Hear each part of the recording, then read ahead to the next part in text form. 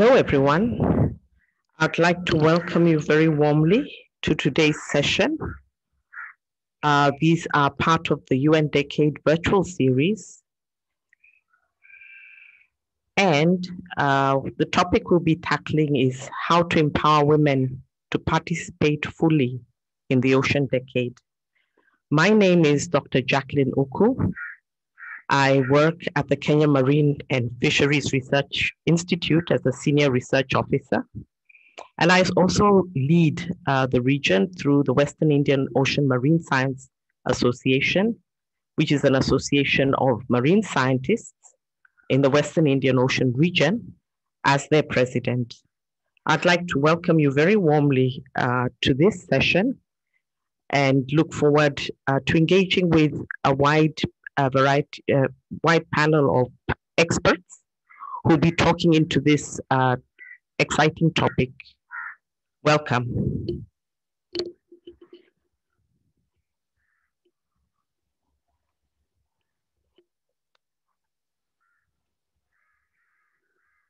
Listed here are the is the list of experts who will be joining us today. We have Dr. Ariel Troisi, the chair of the Intergovernmental Oceanographic Commission, myself moderating the session.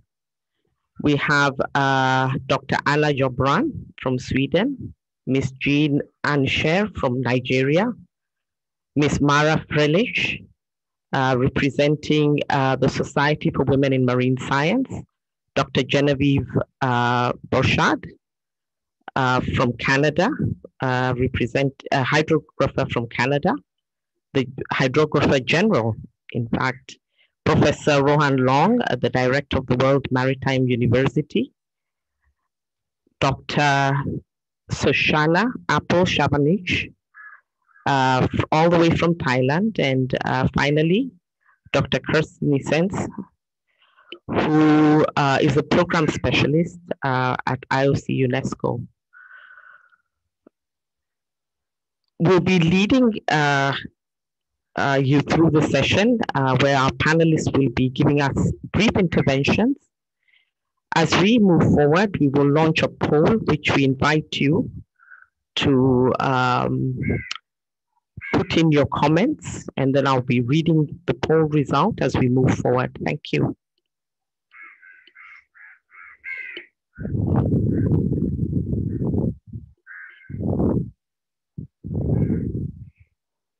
It's a very simple poll. We are asking you what is your gender.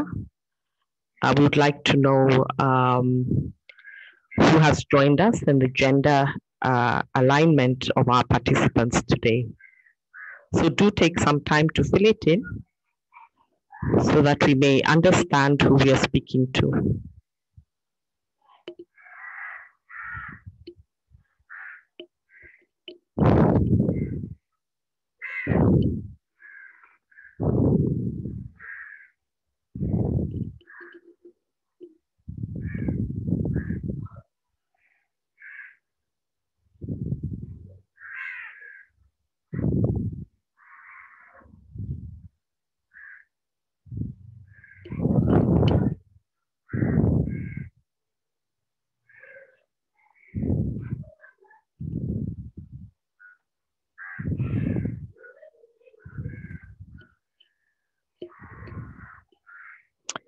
As we wait for the poll results, I'd like to encourage each one of you uh, to engage with us through a question and answer session.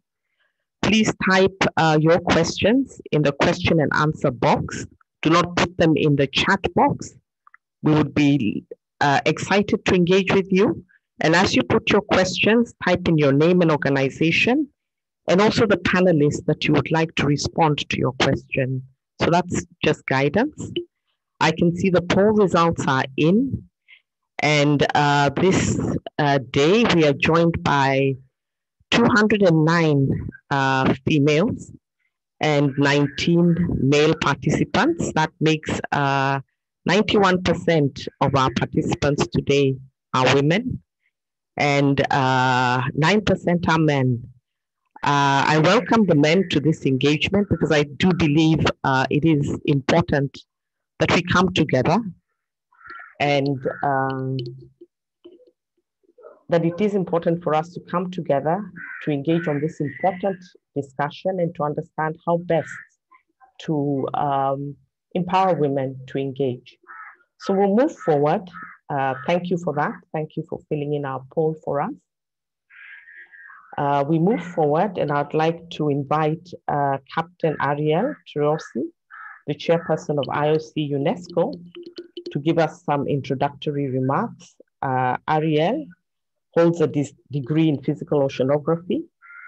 He has worked uh, with the Argentine Navy as an oceanographer, and he has a long-standing and proactive engagement and involvement in marine scientific research, project management, and associated services, as well as long-term service with the IOC of UNESCO. Welcome, Ariel.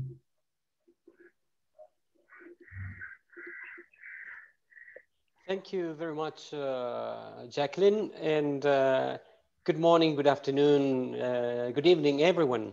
Uh, of course, on, on behalf of IOC, I would like to welcome you all to this session of the Ocean Decade virtual series on empowering women in the Ocean Decade. And we have organized this in partnerships with, with our friends from the Canadian Commission for UNESCO and Fisheries and Oceans Canada. Uh, it's really great to see so many participants today. Uh, but thinking back, uh, uh, I would like to point out that back in 1945, the UN Charter reaffirmed the faith in fundamental human rights, in the dignity and worth of the human person, and in the equal rights of men and women. A few years later, 1948, the Universal Declaration of Human Rights stated that everyone has the right to work, to free choice of employment, to just and favorable conditions of work, and without any discrimination, has the right to equal pay for equal work. Gender equality is a human rights principle, a precondition for sustainable people-centered development. And it's a goal in and of itself. It implies that the interests, needs, and priorities of both women and men are taken into consideration, recognizing the diversity of different groups. And yet, more than 70 years later, we find ourselves here to address empowerment of women in the ocean decade. The Global Ocean Science Report, the first edition published in 2017, reported that there's more equal gender balance in ocean science than in science overall. The results of the survey indicate that female scientists comprise, on average, 38% of the researchers in ocean science, which is about 10% higher than the global share of female researchers. But still, women are underrepresented in many categories of ocean science. On the other hand, the results on other ocean-related activities, such as fisheries, labor at sea, policy making, and management, are far less encouraging. What is clear is that we need to do more, we need to do better, and we need to do different to overcome existing limitations and barriers in terms of gender. We are barely 50 days away from the beginning of the UN Decade of Ocean Science for Sustainable Development, a decade of all and for all of us. It is a unique opportunity to think differently, to push the boundaries towards a paradigm shift under the true spirit of inclusivity, equity, and diversity of the decade, and act accordingly, enhancing opportunities for women and girls, redressing gender imbalance at all levels, from school to higher education and professional development, increasing the attractiveness and accessibility of ocean-related professions to girls and women, including by providing the right skills and increasing awareness of the opportunities that exist. We are going beyond co-design science. We are co-designing our common future. We are on the right track to ensure that by 2030, women as much as men are driving ocean science, observations, and management, driving a sustainable ocean economy, and helping to deliver the ocean we need for the future we want. I am very much looking forward to listening and engaging with such a distinguished and brilliant, uh, brilliant panel as the one we have here today with us. And with that, thank you very much to everyone. And back to you, Jacqueline. Uh, thank you very much, uh, Troisi still exciting to be here and exciting to host each one of you. I will move to uh, giving some highlights uh, of the Global Ocean Science Report that has been highlighted. So we go to the next slide. And uh, one of the interesting things I found is that SDG 14 is silent on gender. Um, so we have to look at SDG 5 to look at aspects of gender equality and how women can participate in uh, SDG 14 on life below water. We know women play a critical role in ocean science, fisheries, conservation, and uh, it is important that uh, we go beyond SDG 14 to find out what really we can do to engage even more. So what I'll be sharing are some of the statistics from the Global Ocean Science Report, for which I'm a core uh, chair on the editorial team. So next slide. We found uh, that gender equality in ocean science is not yet there. We still have some distance to go. And uh, when we mapped the countries, we found that uh, ocean science personnel range from 7% in DRC, Congo, to 72% in Ireland. And this is of all the ocean science personnel, that's the percentage uh, of women that engage in ocean science. The percentage of female uh, females in ocean science is equal or higher than 50% in countries like Angola, Bulgaria, Croatia, El Salvador, again, Ireland, Poland, and Turkey. So they're countries that are excelling in uh, having women engage in this very unique area and this beautiful area of science. Next slide.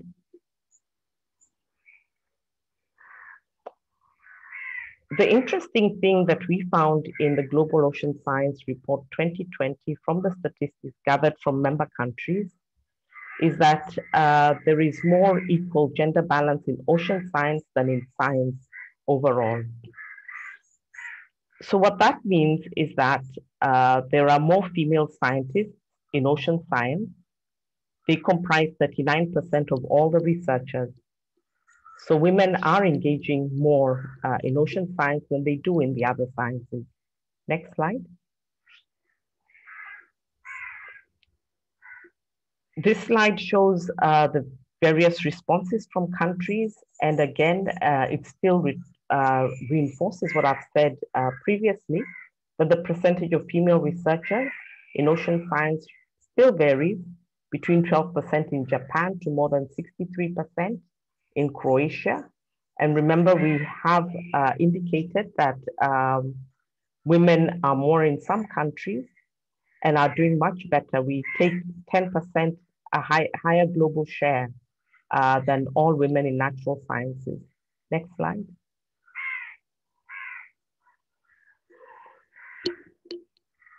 We interrogated um, where women are participating, where do we find women? And we found women are actually uh, engaging uh, very proactively and they're talking to the world, they're participating in conferences, and it's an indicator uh, of their involvement in ocean science.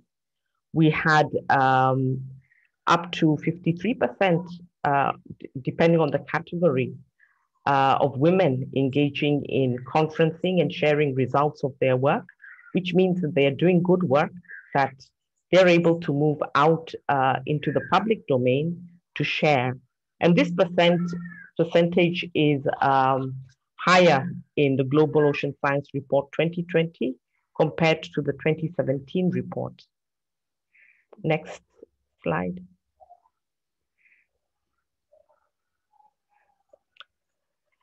When we look at women empowerment in ocean science, uh, there are challenges and opportunities. We find women are still, uh, or female scientists are still unrepresented in many categories of ocean science, such as technology, development, and ocean observation. We've seen that uh, SDG 14 requires more women to take part in policy and governance level dialogue. Uh, often we document women's success in higher education. Uh, we are able to say we have so many women graduating with masters, PhDs, but usually that does not translate into equity in participation in policy and governance frameworks, we find fewer women at higher levels of strategic decision making. And so we call, uh, through our report and the results of that report, for mainstreaming of gender equity in areas uh, that are critical to ocean science, such as management, conservation, policy, and treaty negotiations. We are looking to mainstream gender equity in proposals. We are looking to include gender equity uh, to shift from equity blindness to equity activating policies. We recognize that activities must be culture sensitive because every culture uh, receives um, knowledge uh, from women in different ways, and women engage in different ways. So we have to be extremely gender uh, culture sensitive. And most of all, we have to create an enabling framework to make it possible for women to participate equally in ocean science. Next slide. So it's with these thoughts that uh, we come down to our panel of experts.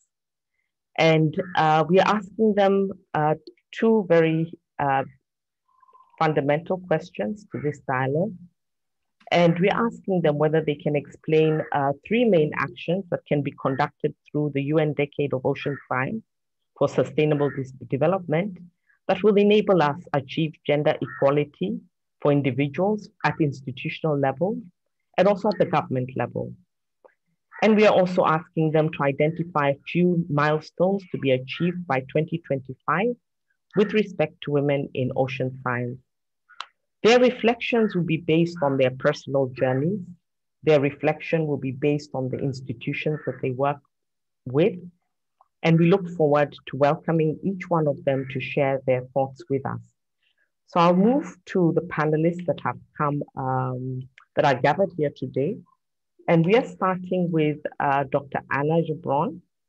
She is the CEO of the Swedish Foundation for Strategic Environment Research, MISTRAS. And prior to this, uh, Anna was the Director for Ocean Affairs Department for the Swedish Agency for Marine and Water Management for almost 10 years. And in her career path, she has moved uh, through being a director for the Department of Natural Resource Management and Environment and the Swedish Environmental Research Institute. She comes to us also as a member of the executive planning group for the launch of the UN Decade for Ocean Science. And Anna holds a PhD in aquatic microbiology. Welcome, Anna, to give us your intervention. Thank you, Jacqueline. And uh, hi, everyone. I will try to uh, keep my six minutes, but uh, I will start to share uh, something of a story of my own. When I started as a PhD student in ocean science almost 30 years ago, we were very few female stu students and almost all professors were men.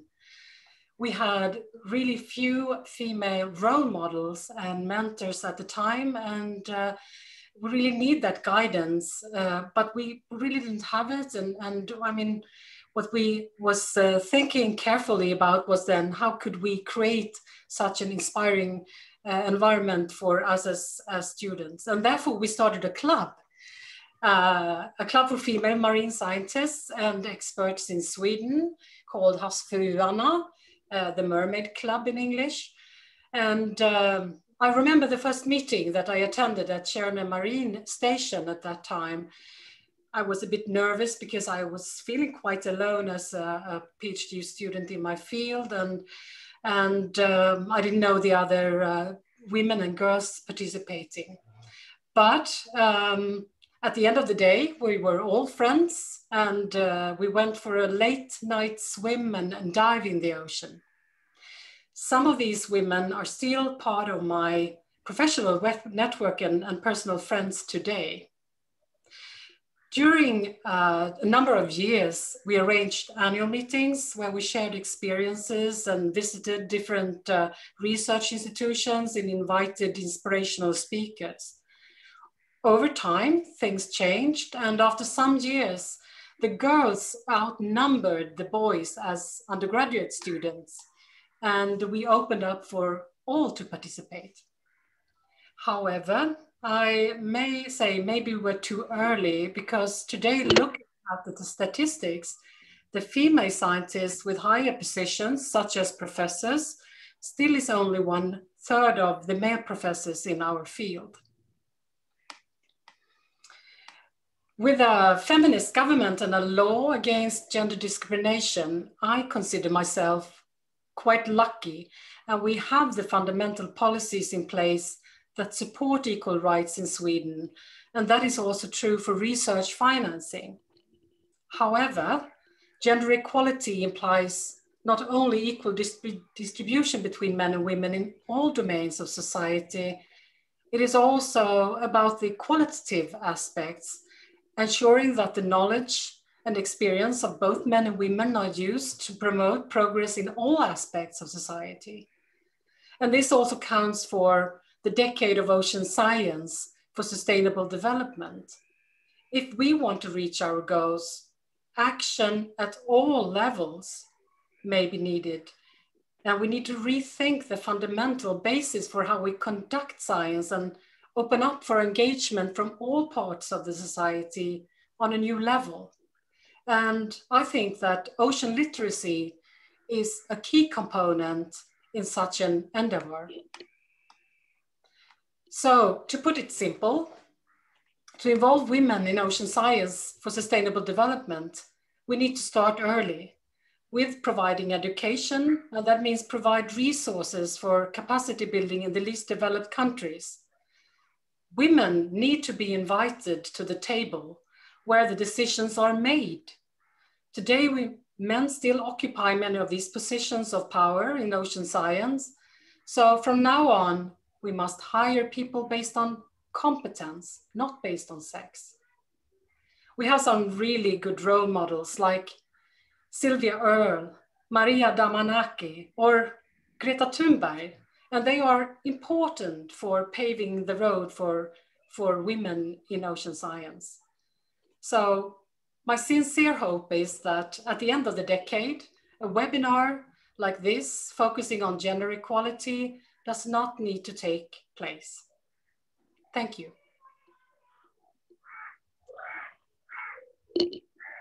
Thank you very much, Anna. Uh, that was very beautifully put. Um, I'd like to welcome the next uh, presenter. Our next panelist is Mrs. Jean Anishere.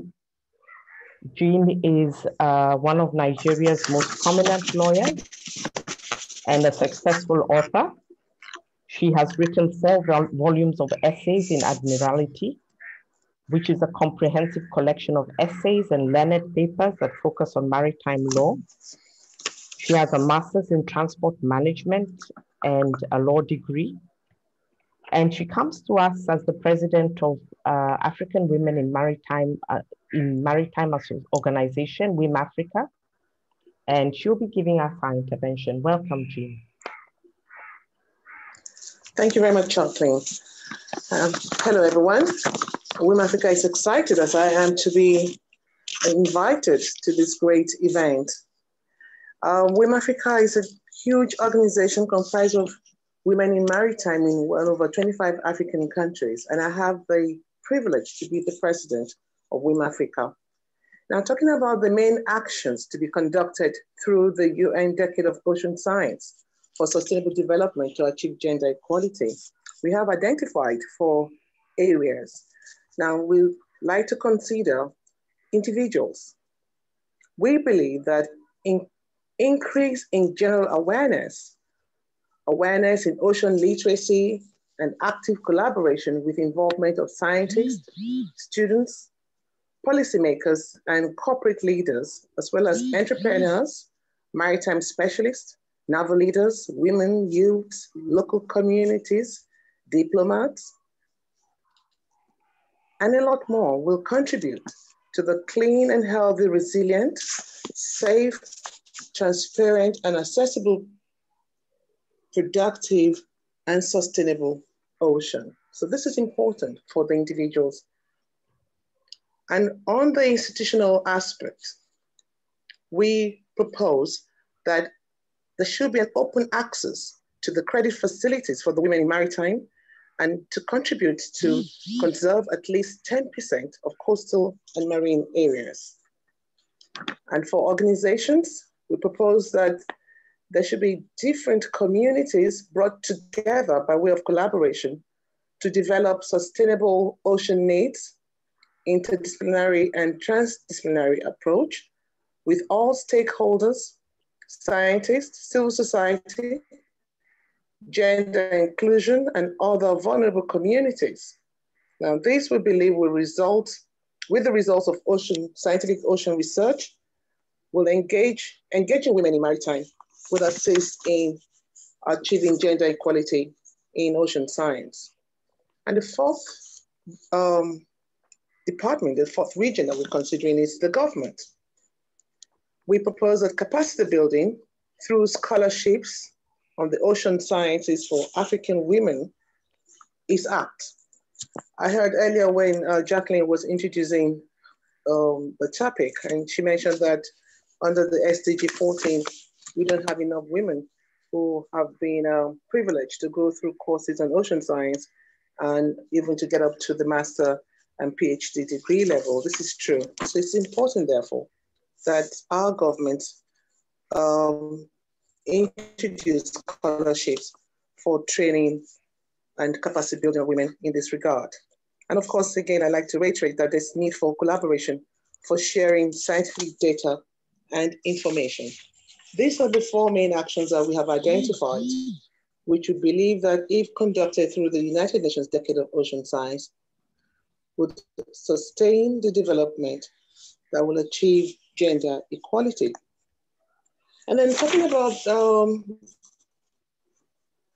the milestones or targets for 2025, uh, which WIM Africa has identified, identified that implementation is key, implementation of scientific-based management plans to restore fish populations in the shortest possible time and the mechanism to reduce the IUU fishing. This is one target.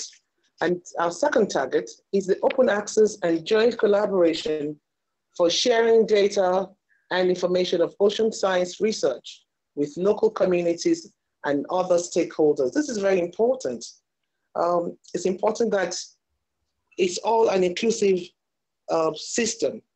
It's important that local communities are also uh, taken into consideration when the collaboration is being considered.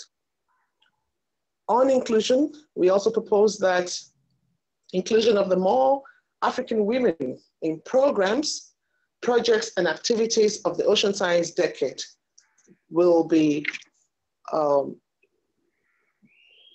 really appreciated, such as what we're doing today. We appreciate the fact that uh, the UN and its um, uh, support team has deemed it necessary to involve WIM Africa in this webinar meeting.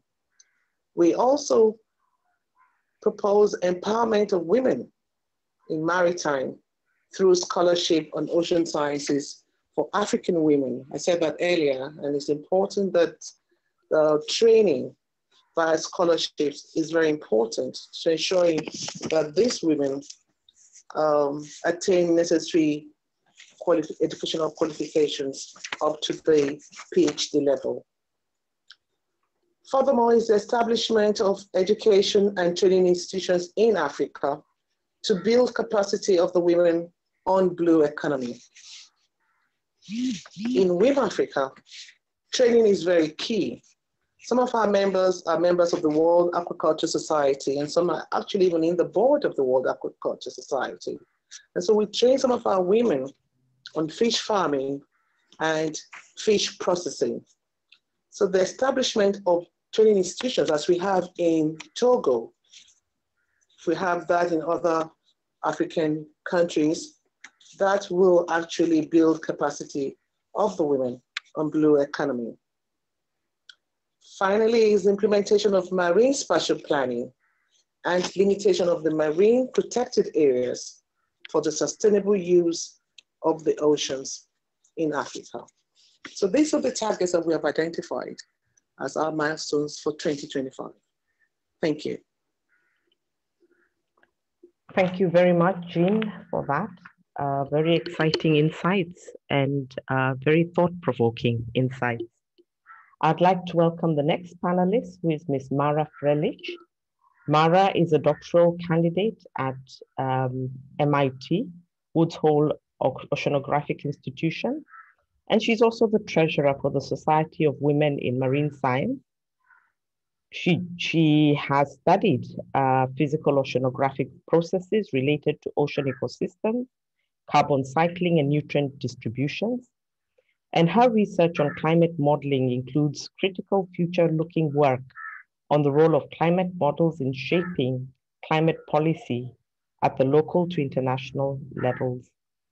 Mara will be sharing her journey uh, and some insights as a member of the Society for Women in Marine Sciences. Welcome, Mara. Thank you. And thank you very much to the organizers and the other panelists as well. So where we're coming from, this is science or SWIMS, as we call it, is we see some of the main challenges for women in ocean science as discrimination in access to institutional resources and leadership, and also mm-hmm. social scientific solution. And this leads to the devaluation of women's contributions compared to those of our male counterparts. And these issues compound over time. And so they really need to be addressed in early career stages. And this is where SWIMS, um, where we do our work in mm-hmm. SWIMS, um, in the intervention that I'll be making today. And so to make change beginning at the individual level, we really think individuals within the scientific community should identify their personal stake in gender equity. And then based on their personal stake, align time, peer relationships, and actions accordingly. And this is important for both men and women to do. Um, and for many SWIMS members, our experience with gender-based marginalization within marine science motivate our involvement in SWIMS. But personal experiences alone are not enough to effectively work for change. We also have to develop a sense of solidarity, so not just advocating for ourselves and our immediate circles, also with others, including those who don't have exactly the same experiences as us because of other identities like race, class, disability, gender. This gender equity also go well beyond our careers and our motivation arises from the gender issues that underlie environmental issues like climate change and plastic pollution. And so SWIMS is really unique in my experience because it's an institution where women, and especially early career women, are in positions of power. And that means that early career women are also setting the norms of conduct. One of our main programs in SWIMS is regional symposia. And on the slide here, you're seeing part of one of our symposia planning committees. And the symposia are places where marine scientists and especially women and non-binary scientists can gain visibility, networks, and collaboration. And throughout all of the SWIMS work, members gain really valuable leadership experience scientific contributions, um, science communication, and also interpersonal and community efforts are really readily valued and celebrated in SWIMS spaces. And our symposia are completely different from any other scientific meeting I have been to, not only because of the gender balance of the attendees, but also because the symposia bring conversations about gender and other discrimination into professional spaces. And that really allows us to enter scientific spaces um, with whole people and bring our stories and experiences with us to contribute. And so SWIMS recently became a nonprofit. And we became a nonprofit because we were growing rapidly with 20 chapters in the US and two abroad. And we really needed more institutional support to sustain this network. So we're really grateful to operate within an ecosystem of other nonprofits and organizations doing aligned work. But we found that mainstream science institutions didn't see the issues that SWIMS works on as part of their work. Um, and so we needed additional support. We think that science institutions should change that view of their missions and really make space for equal voices of women, especially in leadership and decision making. And in doing so, maintain a critical eye towards race and nationality in addition to gender. And so what we're saying here for in, changes that institutions should be making is to see gender equity as really essential to achieving any scientific mission. And relatedly, at the governmental level, we see that government should increase transparency of science funding opportunities to make access more equitable for early career scientists in general and women in particular. Access to funding um, will really allow our networks to thrive. And funding should also be prioritized to organizations and people who are investing in the future of science by creating safe and inclusive training environments. And finally, science doesn't operate within a vacuum, and inequity outside of science affects the scientific community. This means institutional decisions about funding and hiring should be attentive to social conditions that exist um, that perpetuate marginalization. For example, by placing more housework on women, and this has be become especially prevalent during the pandemic, limiting educational opportunities. And this is true even as we, as scientists um, and outside of the scientific domain, work to change reality of discrimination, marginalization for women um, and others more broadly. And so in summary, by 2025, the middle of the decade, we would like to see gender parity in academic science. But beyond that, increased levels of women in science leadership, an orientation of institutional priorities towards equity, strong protections against sexual harassment, and a cultural shift towards ready recognition of scientific contributions, regardless of the gender of the investigators. Thank you very, very much, Mara, uh, for those very, very deep insights. And congratulations for the work you're doing at SWIMS. We welcome Dr. Genevieve Béchard, uh, Hydrographer General of Canada. Um, Genevieve comes to us um, having done a lot in her career. Uh, she has uh, held several senior executive positions within the Government of Canada in science departments, for instance, at the Center of Remote Sensing, at the Geological Survey of Canada, and at the Meteorological Service of Canada. She holds a PhD in environmental microbiology and started her career in research and development applied to mining. Welcome, Genevieve. Thank you. Um, Jacqueline, and thank you to the organizers for having me today to be part of this event. Um, with the launch of UN Decade, I've, in only a few months away, I think the timing is right for us to discuss what we think we can and must collectively do over the next decade. And um, I first spoke publicly about uh, the importance of empowering women 18 months ago at a conference organized by the World Maritime University. It was also the first time in my career that I attended a completely sold out conference. Um, and at that conference, I heard firsthand the importance of sharing experiences, of having a network, both men and women, and the power of role models. And at that time, I was trying to understand why we did not have enough women in the executive cadre of my organization, the Canadian Hydrographic Service. Um, now, the Canadian Hydrographic Service um, is responsible for charting Canadian waters. So our staff, our employees uh, do field work. They go out on, on, on ships, they collect data, they process data, and they produce nautical publications. And you know, we have very talented women in the field of hydrography and in, in our organization. And so I was asking myself, were they not interested in senior positions or were they not being exposed or getting the experiences they needed to successfully compete for these positions? So a, a month later, um, shortly after the conference, I asked Annie Biron, who is one of our senior hydrographers, to launch a women's network and start looking at how we can answer some of those questions and um, recognizing that both men and women need to be part of the solution, uh, she started with the women. Uh, she created a safe space for them to come forward and identify issues and barriers that they were seeing. And I realized that these went, went way beyond uh, just competing for senior positions. They identified several issues and provided some concrete recommendations uh, to me and to the executives of the organization. And these have now been shared with the whole organization.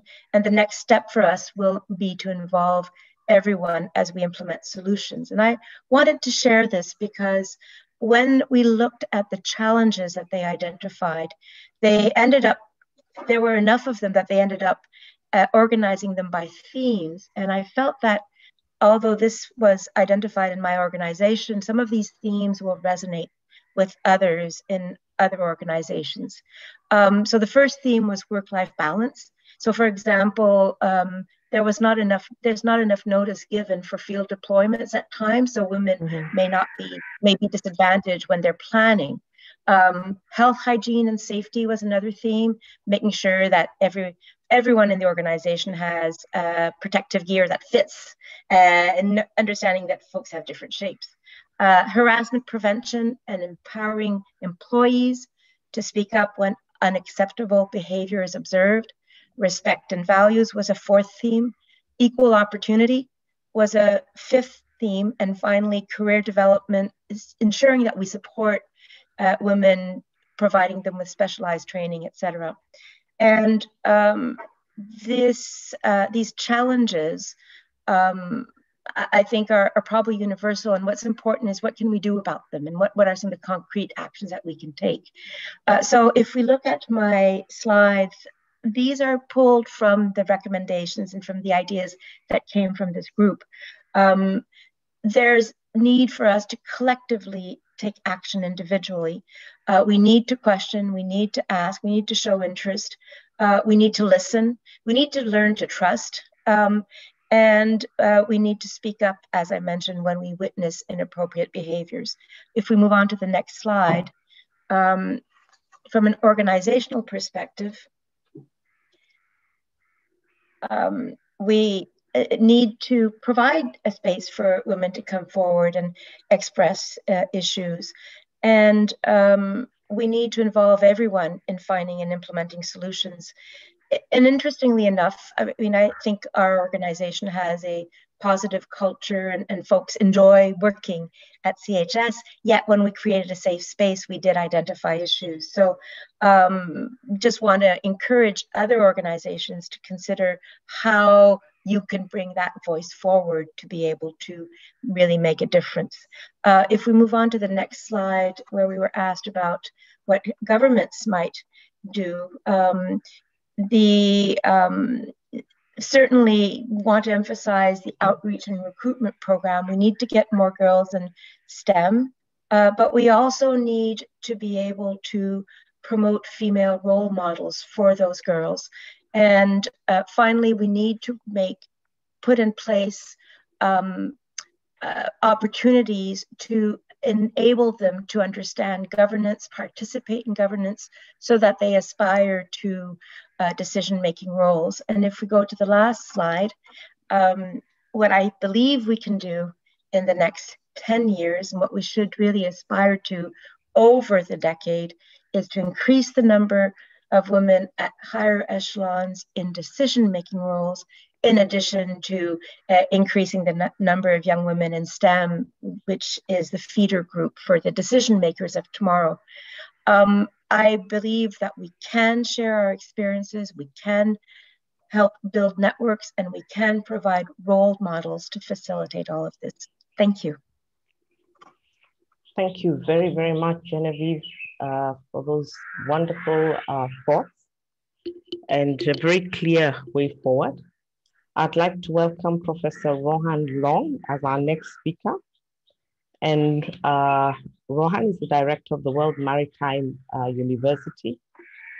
He comes to us uh, having had a lot of experience in ocean governance issues, and he leads a team of specialists that are undertaking uh, projects on land to ocean leadership, climate change, law of the sea, and areas beyond national uh, jurisdiction.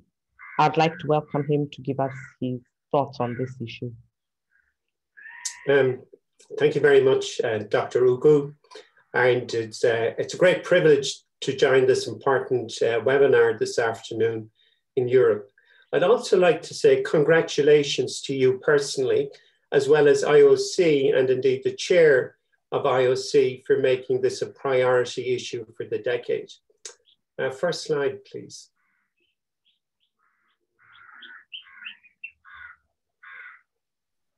Uh, on, the first slide, sorry, can you, can you go back to my cover slide?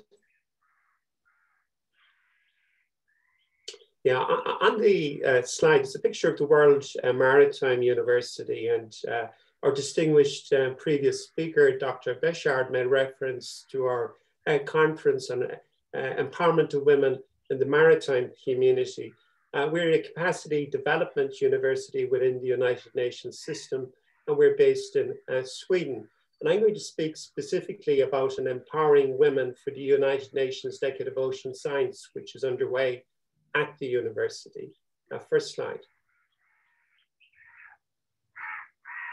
I did two strands to the research, and I would emphasize it's both a, a research and a capacity building program. Uh, the first strand looks at the role of gender equality and the empowerment of women in ocean science bodies. And we have case studies in ISIS, IOC, mm -hmm. UNESCO, as well as scientific and educational institutions in Kenya. Mm -hmm. And the second strand is to look at gender equality in regulatory and ocean science governance systems that coordinate, manage, and mediate ocean science. And in this instance, we have uh, case studies in, in, in relation to the International Seabed Authority, FAO, the, the Division on Ocean Affairs and Law of the Sea, IUCN, and the High Seas Alliance, which is an alliance of over 40 NGOs working on the BBNJ agreement, as well as institutions under the Nairobi Convention.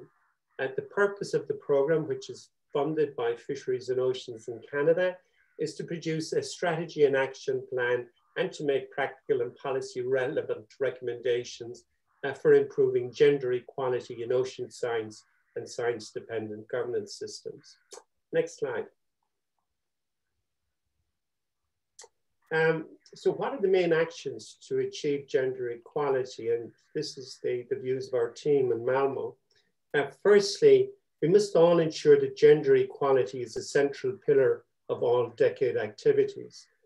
In relation to individual actions, advocacy and awareness raising is a personal mission uh, for all of us in, in Malmo and likewise for everybody that is participating in the decade, particularly in relation to supporting pathways to empower women and to remove barriers to gender equality.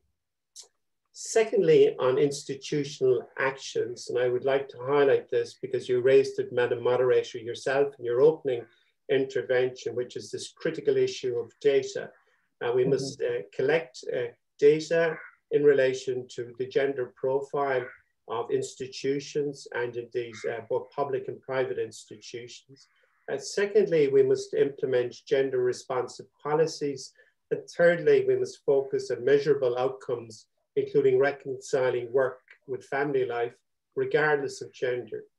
Uh, thirdly, on the issue of government actions, and we've been very active on this space, and we would like to see gender equality provisions in international instruments such as the uh, BBNJ agreement, which is under negotiation at the United Nations, as well as at the CBD uh, strategic plan for biodiversity for 2021 to 2030. And again, I would pick up uh, on a point made by the previous uh, speaker we must ensure effective women representation in decision-making bodies and senior leadership positions, and particularly in relation to uh, public and private uh, science bodies. Next slide. Okay, what are the milestones to be achieved by 2025? And we discussed this amongst our uh, gender group in Malmo, and in, particularly in relation to actions by uh, institutions and government. Firstly, it has to be based on data. That is to say, we need an empirical science base uh, to set general objectives and specific targets in relation to gender equality.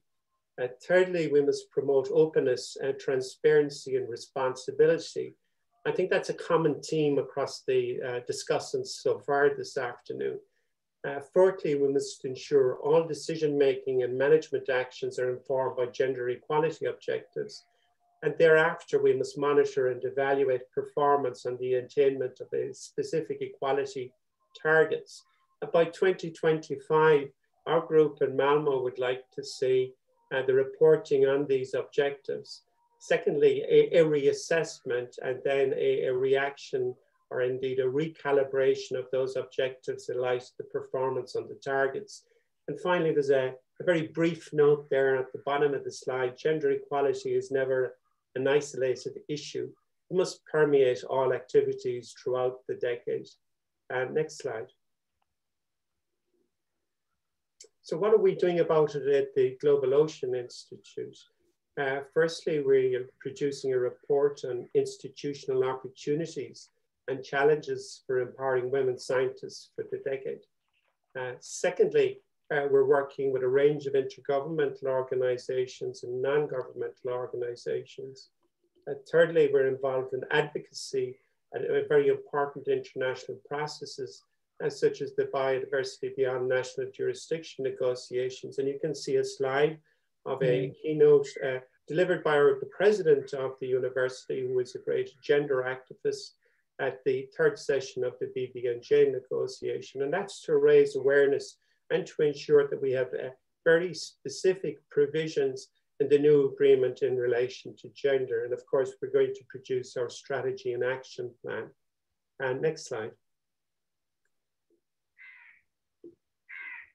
So I'd like to, um, to conclude by acknowledging our wonderful team led by the president of the university, as well as Susan, uh, Jensen, Momoko, Francis, Clive, Elnis, Jill, Rennis, uh, Ellen, and Marie Amalia.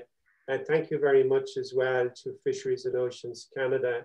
We're just at the start of our mission on gender equality, and we're going to be very interested in tracking progress over the next 10 years. Uh, back to you, Madam Moderator. Thank you very, very much uh, for that interesting uh, insight. We come to our last speaker, and I'd like to remind uh, all participants to put, type in their questions in the Q&A, indicate your name and uh, also uh, who you'd like to respond to your question. As we do that, I'll welcome uh, Dr. Suchana Apple. Suchana comes to us all the way from Thailand and she has a broad base of ecological research interests that uh, involve the study of nearshore species from tropical to polar regions. And what uh, you may not know is that she's the first uh, female from Thailand, female scientist to go diving in Antarctica and the Arctic. So I welcome uh, Suchana to give us her insight into this exciting topic. Thank you very much, Jacqueline. Uh, first of all, I would like to thank IOC for allowing me to join this event uh, and I'm very honored for this. Well, uh, many people have always asked me why I become a marine scientist, why I choose marine biology as my major when I was a university student. And I have to tell you that the reason why many Thai people asking me like this because marine science major is not a popular subject amongst the women in Thailand. And I have to say that in Thailand, working and doing a research related to the ocean, particular having to work in the field, women still are not preferred. And this may be because of the physical or body strength. How about now? Personally, I think right now is much better than uh, before. Uh, the opportunity uh, for women in science are much better than, than before. And this may be because the women have already proved to the society that they can do well in marine science area. In the past, it was a man world, but right now it's not anymore. Women are proven that even though their physical strength may not strong equal to men, but they as a woman can do job nicely using other advantages that they have. For example, women tend to consider in detail things that is very important for study in ocean science. And this as an example. I have to admit that right now, marine science field in Thailand is still a largely male dominated field. And a lot of time when I sit in a committees for meetings, I found out that um, I, I was the only female in the meeting. And sometimes I feel a little bit uh, uncomfortable. But well, my strategy is not let it get to you, do the best and show that women can do it. And not only that, Seniority is also an issue. If you are women plus young, then you face double challenges. But what we can do to overcome those challenges during the decades. Uh, next slide, please. In the past 10 years, I think I'm very lucky that I have an opportunity to involve with the IOC Westpac. And I think so far IOC Westpac doing quite excellent job in encouraging more women um, to involve uh, in the projects under the IOC. However, allowing them to involve or making oceanside knowledge accessible may not be enough.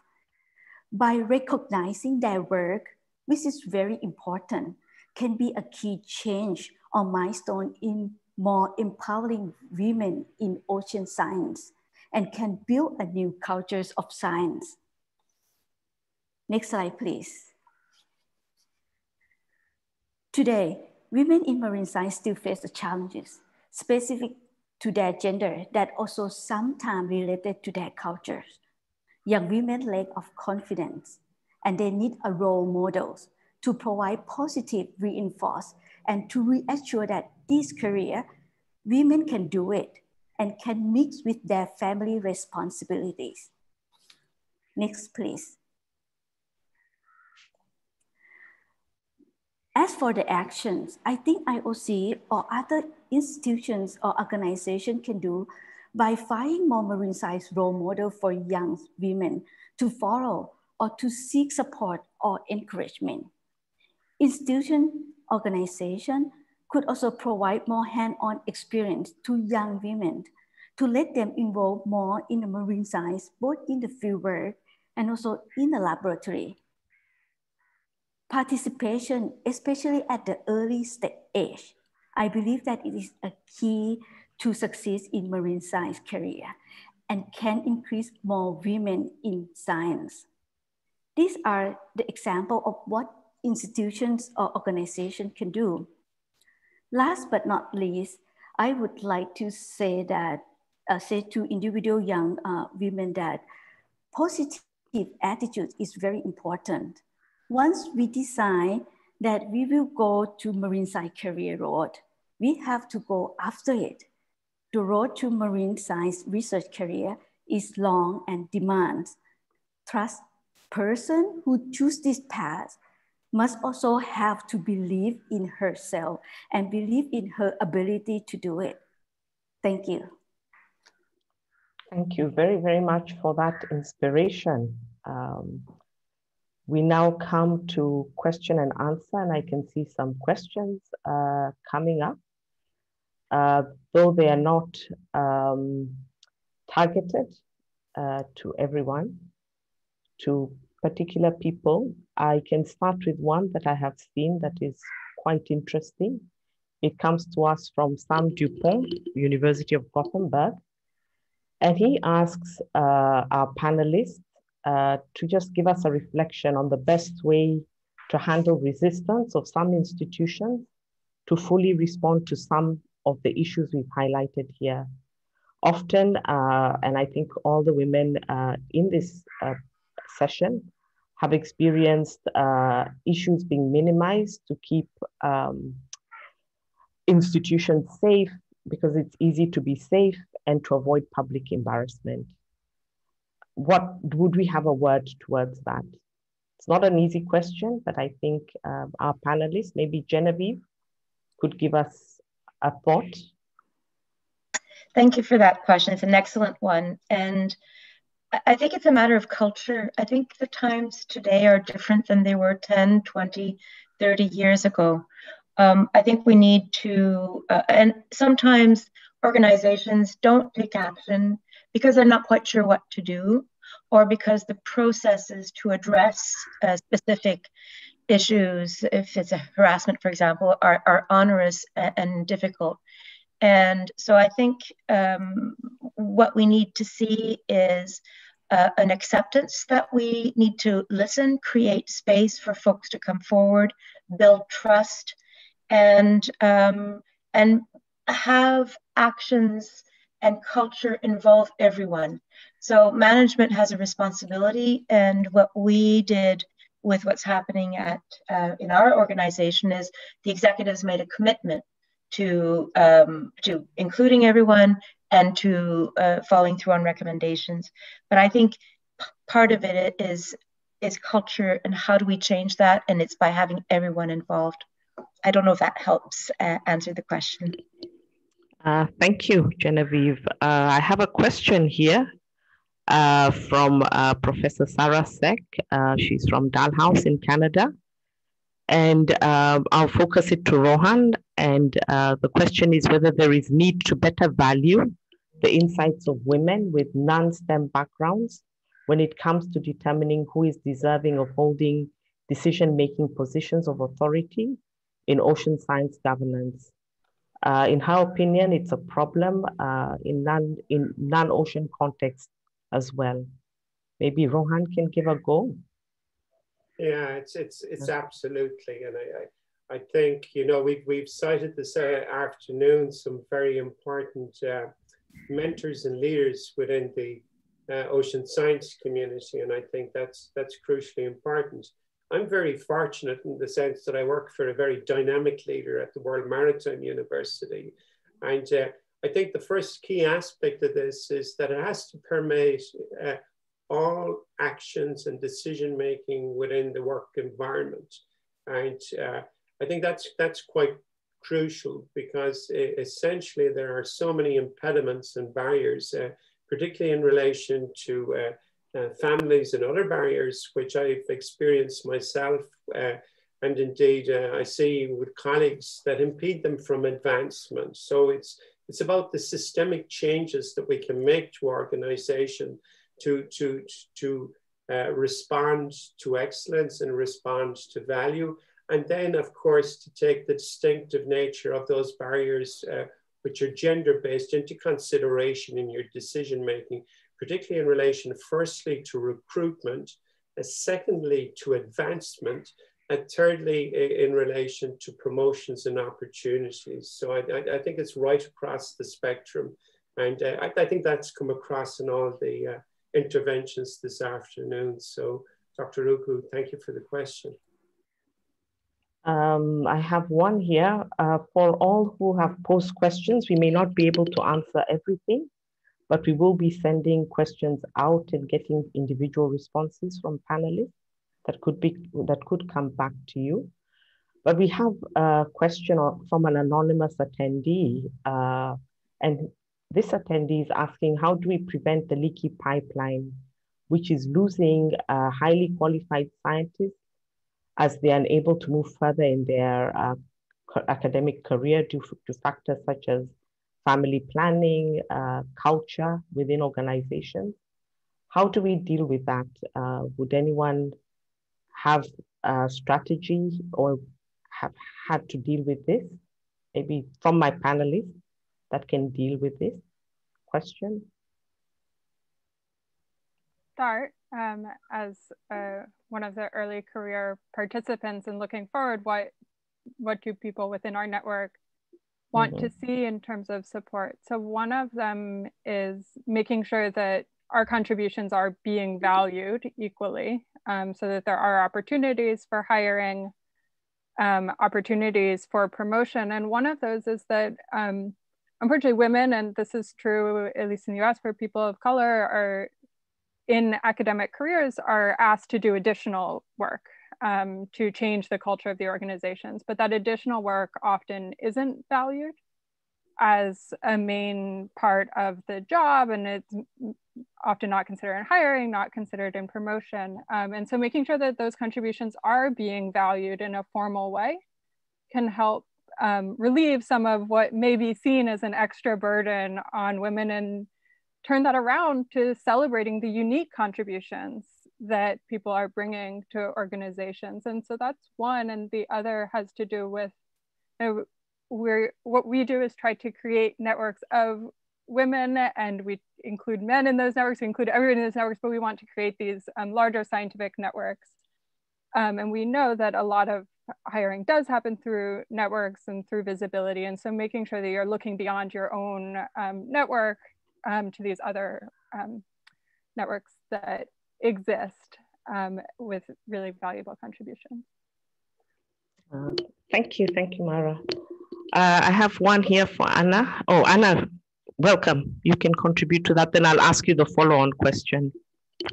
I was just thinking as a, a financer of research, uh, one way to really handle this sort of leakage that takes place is to, to uh, provide programs over a long time, making it possible to actually have these changes in life taking place. I mean, you have a family and, and uh, both male and, and females have times off uh, with children. So if you invest over time a, a, research program, then you can prevent some of this leakage.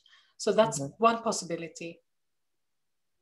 Thanks. Um, so Anna, again, um, someone, an anonymous anonymous attendee has indicated that uh, uh, applications should be made anonymous um, to ensure that um, people are not looking at gender, but also women with foreign sounding names are regularly discriminated against.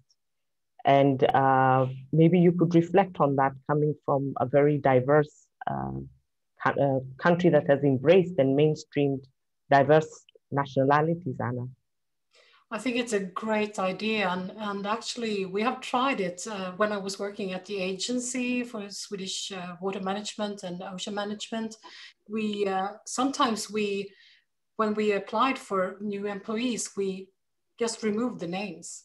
And I think it's a, it's a great idea because then you you tend to look at what's in the application and not uh, sort of discriminate against sexes or origin or something. So I think it's a great idea and it should be tried much more. Thank you. I have a question. Oh, Ronán, you'd like to contribute? Yeah, it's just something we've learned in our institute as a result of the um, Canadian uh, funded program is, you know, it has to start at home. So as part of our program, we have a, a gender awareness training. And, uh, you know, it's not something I received in my own education, but I think it should really be a, a mandatory for anybody that's involved in, uh, in decision making or indeed who is participating in scientific research in any capacity. So there is a, there's a big knowledge gap about the importance of this. So uh, mandatory gender uh, uh, training as part of your um, shall we say, lifelong education, uh, particularly for those of us of, of a certain generation. And I, I, think much younger people are probably far more uh, gender aware than uh, perhaps people of my generation. But that's, of course, open to debate. So thank you. Okay. I have, I'm taking the last one and uh, maybe Suchana will uh, speak into that. We have a young lady, Nancy Riba from Tanzania.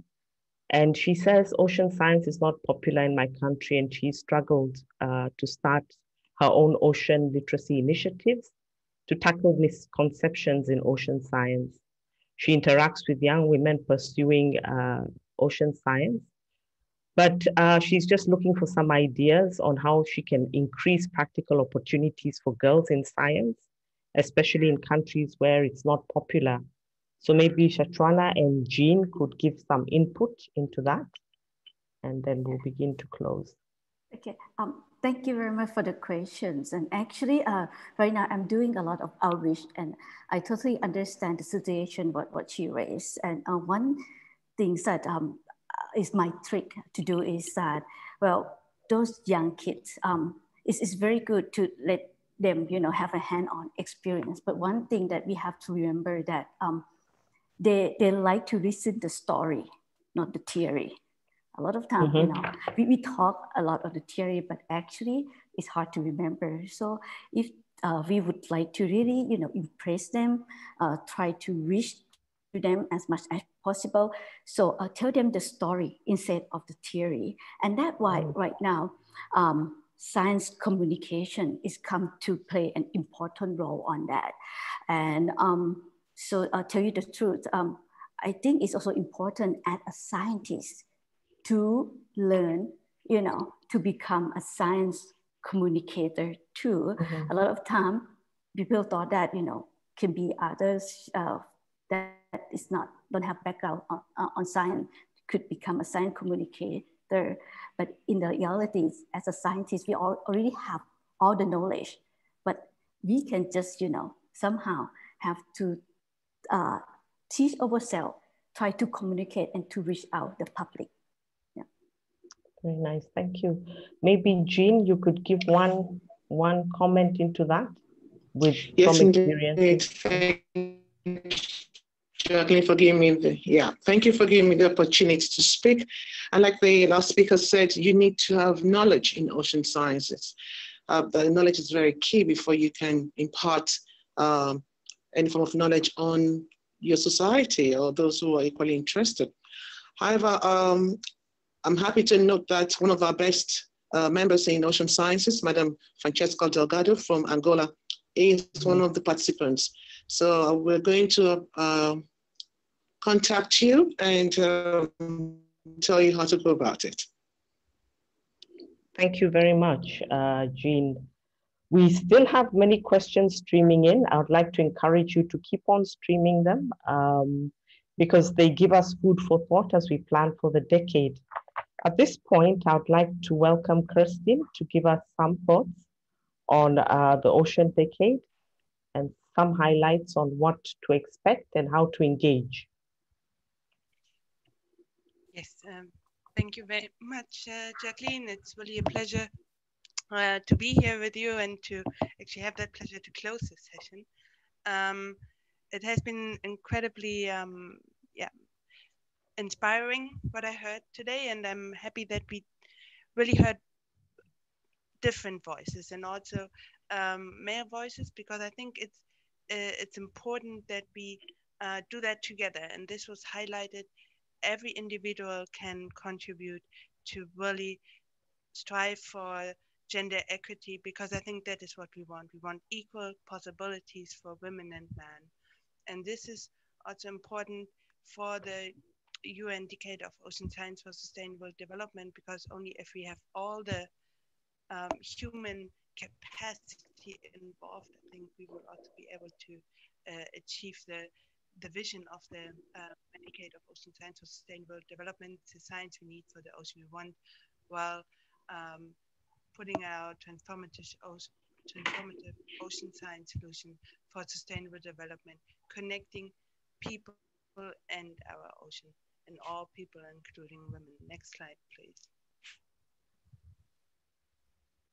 Next. The um, decade the, the decade um, highlights seven societal outcomes, and I'm just um, trying to highlight here this the last one. We need an inspiring and engaging ocean where society understands and values the ocean in relation to human well-being and sustainable sustainable development. And it's also the other way around. It's also the ocean science who should value all humans. And I think it's important that going from this event here, not only, of course, from this event, but um, to understand that gender equality needs to be mainstreamed in all uh, decade activities, that it's one of the criteria to actually become endorsed as a decade activity. And there, there we go to my next slide. Next slide, please. Yes. Um, because the first call of uh, Decade Actions is just out. It was uh, published on the 15th of October and goes until the 15th of January in 2021, um, where we now call for global or major regional programs or contributions, including support to central or decentralized coordination functions of the program. There's right now no uh, geographic or thematic restrictions. So we could, of course, as well think of how can we pull out um, a decade program? Do we want to go somewhere or in which decade programs do we have to uh, really put, put an eye on to uh, include gender equality, gender equity more, more general. And one of the criteria for endorsement to actually become one of this decade action is um, to overcome barriers to uh, diversity and equity, including gender, uh, gen generational and geographic diversity. So only if that is um, reassured, we will, this will be um, um, agenda, uh, a decade program. I'm sorry. Um, there were already two uh, Q&A live sessions for applicants and um, more information is on the Decade website.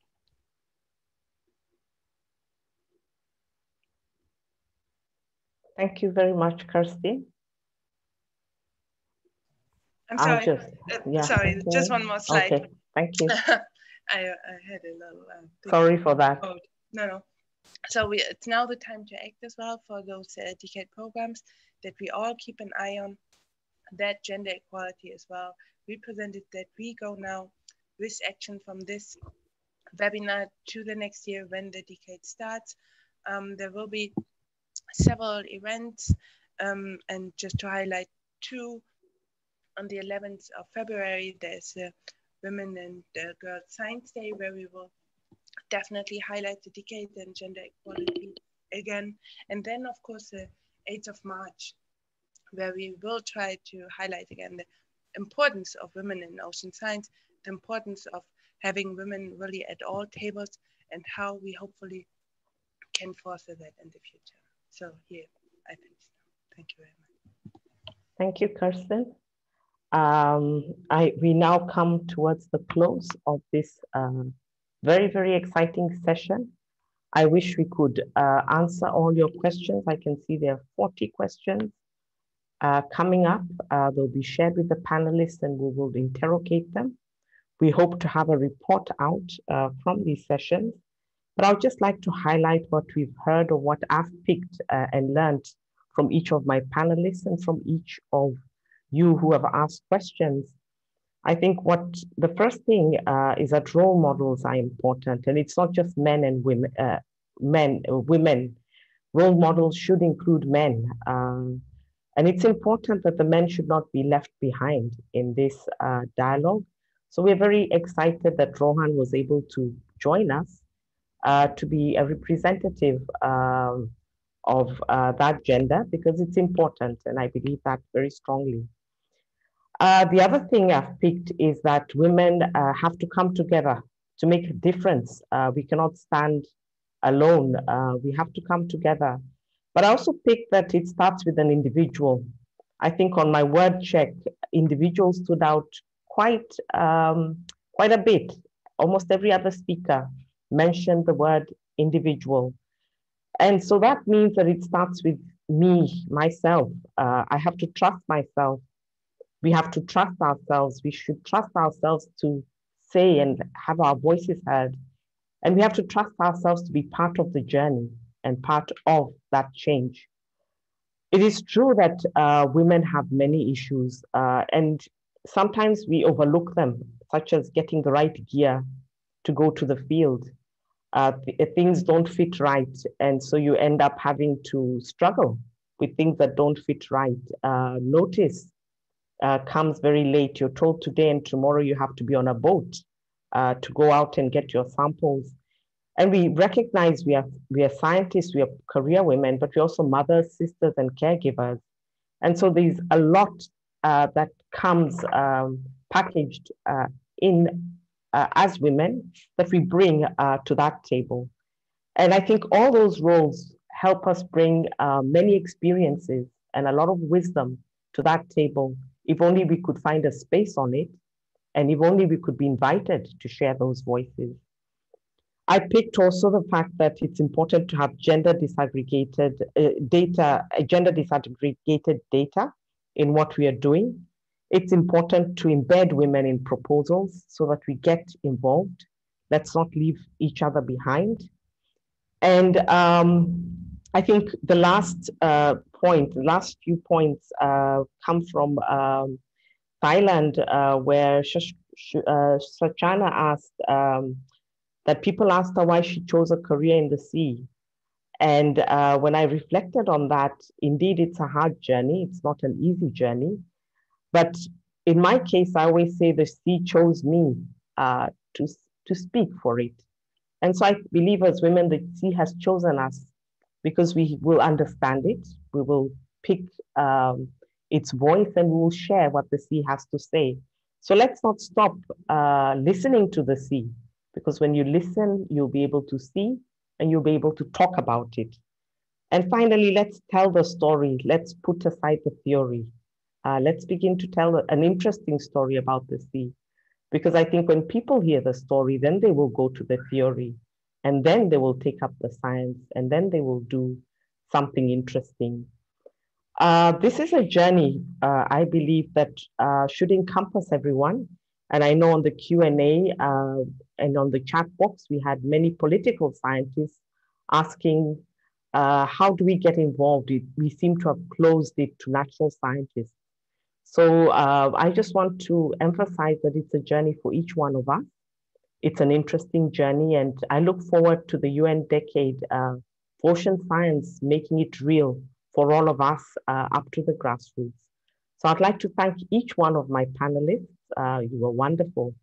I've learned a great deal. I wish we could engage further into the night. Uh, it's getting dark where I am uh, with a few more stories, but we leave that for another day. So thank you. Thank you, participants. We look forward to probably hosting you yet again for a more in-depth discussion. So thank you and goodbye. Thank you, Jacqueline. Bye-bye. Bye. Bye. Thank you.